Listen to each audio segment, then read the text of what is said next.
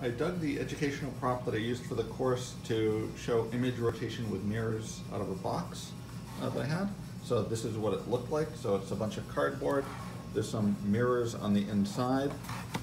The mirrors are in this configuration, and I used four mirrors just because I got them super cheap, American Science and Scientific there, or surplus and scientific.